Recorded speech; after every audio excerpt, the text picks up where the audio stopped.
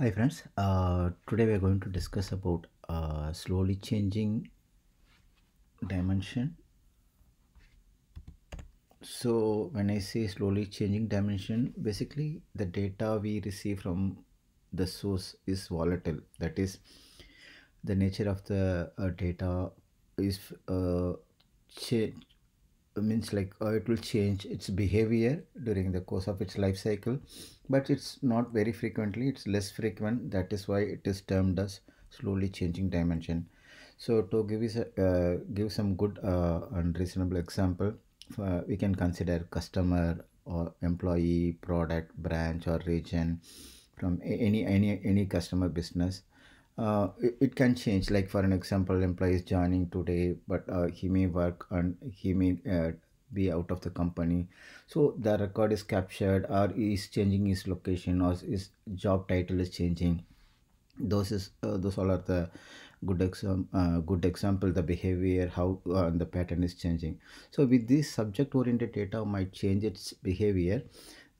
That's corresponding properties and attributes will reflected capture accordingly for data warehouse purpose. Because so when we have the accurate data uh, in dimension we, capture accordingly the business intelligence report it reflect its output accurate to the customers. Uh, so that is the big uh, good idea. So now coming back to uh, uh, the topic again the slowly changing dimension can be captured in uh, various types. But here today we are going to discuss the most commonly used practice of slowly changing dimension 1 2 and 3 so when i say 1 2 and 3 so either the history totally not maintained or fully it is maintained the history or partial history so again if you see the third point what i mentioned so uh, so that's what I have described here. So it no history maintained or full history maintained, row level and current active record. And but today, uh, uh, part of our discussion and agenda, so we are going to cover slowly changing dimension one. So that the transformation uh, means like the mapping. It's look like this, like source employee table. I'm going to take it and look up from the target dimension table and the expression uh, to create an output port uh, to find out whether it's insert or update record so basic uh, based on that outcome we are going to pass uh, in the router for insertion direct insertion or update it will uh, uh, pass it through the update strategy using data driven dd update okay? Let's go back to the sql developer now. See i have created already the table called uh, dim underscore emp underscore scd table so if you see here that employee number key is the optional field uh, in this slowly changing dimension one uh, like a surrogate key. But rest all uh, the attributes same like in the source what we see. That is from employee table emp number. So if there is any new record comes in it will go as insert record. If there is any old record comes in uh, for any changes it will go as update record. That is the simplest understanding this. That is no history maintained in slowly changing dimension one so for this reason i create additional object like a sequence and uh, see for example i've created one sequence uh, for employee number key uh, field to capture okay? So now i wrote one uh, so correspondingly uh, i created one trigger as well uh, to uh, the before level trigger to generate the number okay? So this is what it's going to be taken care because uh, it will uh, okay? So then uh, i wrote a package to give you a quick walkthrough. Uh, means this basically this package what I've defined I've created one static cursor here. See uh, so uh, differentiate the new new insert record and update record okay. So so basically i'm just uh, putting a left outer join to find out insert an update record in first go. And second go in the with clause uh, update query i'm doing the, um, finding out based on the changes like this the where condition. See here. So uh, then uh, union union all uh, both insert and update record. So based on this one if you see further uh, the procedure what I've defined for SCD1 so I'm opening up the cursor and I'm just checking the operation. If it is insert it will goes uh, insert record here. And update it will goes update record and committing. This is a simple procedure I wrote.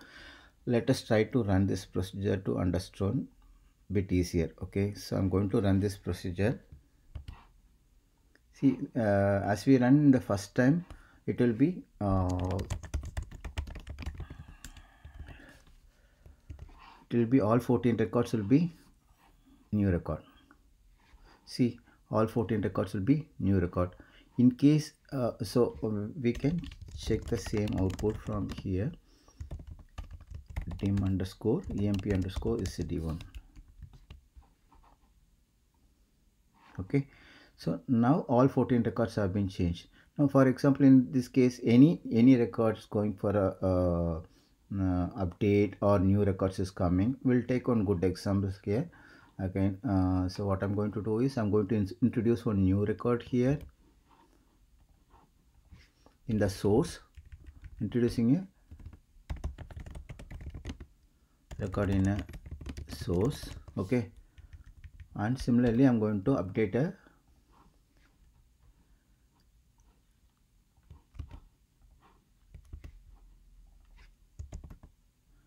I'm going to update a uh, commission. For example I'm going to update a commission. Okay?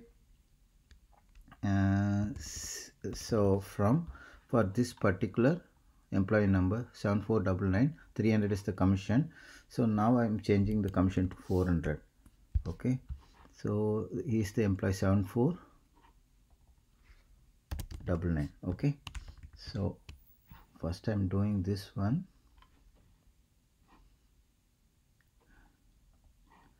and second I'm updating the existing record. So one new record and old record. Now as we discussed initially that uh, the the dimension table do, uh, does not have any record in initial go. So that is the reason all uh, have been captured as insert record.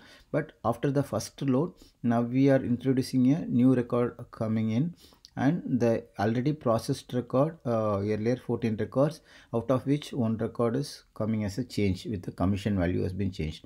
Now let us see we should see two records as the output when we rerun this process. Okay let us try to do that now. Okay so i'm going to run it. Uh, before to that I will, let me commit this information. Okay let's see. See now you can see as we uh, as i introduce in source this uh, this record become a new record and this record become a update record. Okay? That's it. So this is the uh, good quick example how the behavior uh, will be uh, uh, uh in slowly changing dimension through the uh, backend uh, I've written this store proc okay? The similar behavior we are going to achieve it in the Informatica. Okay? Um, okay let us go back I'm going to roll back these changes.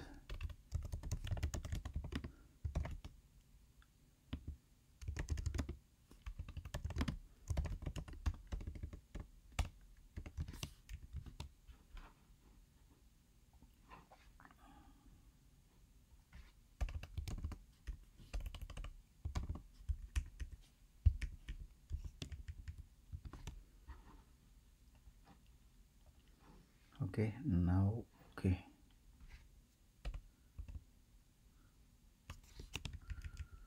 I'm going to truncate. Uh, before we start with Informatica will what will do that uh, it's a slowly changing dimension table I will truncate it. And I will drop and recreate the sequence again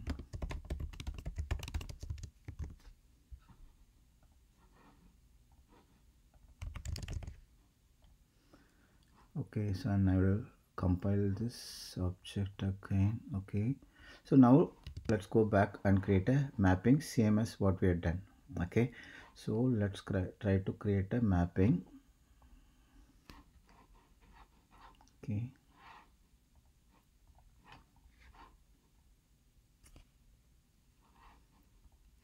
Source so source will be emp